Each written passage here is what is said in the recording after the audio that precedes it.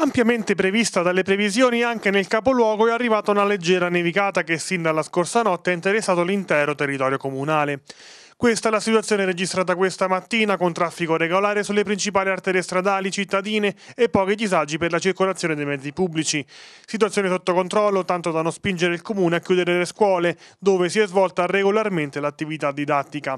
Nulla a che vedere insomma con le precipitazioni abbondanti che hanno riguardato le altre province abruzzesi dove sono stati registrati accumuli anche di oltre mezzo metro.